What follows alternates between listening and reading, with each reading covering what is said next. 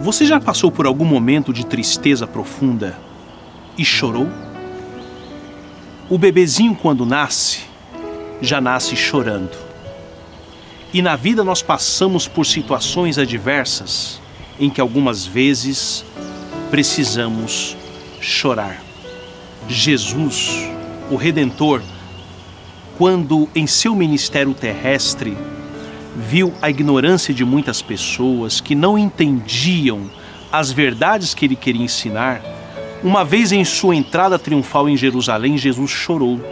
Chorou de pesar por muitas almas não compreenderem o significado da salvação. Porém, precisamos chorar. Mas chorar por causa de quê?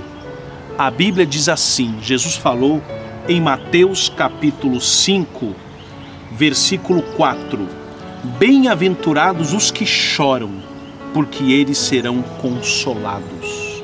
Chorar pelos nossos pecados. Alguma coisa que você fez que não devia fazer.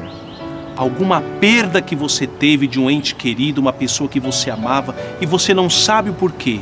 A Bíblia diz: Jesus é o consolo. Que você possa confiar nesse consolador e ele vai te ajudar a superar todas as drásticas situações da vida. Deus te abençoe.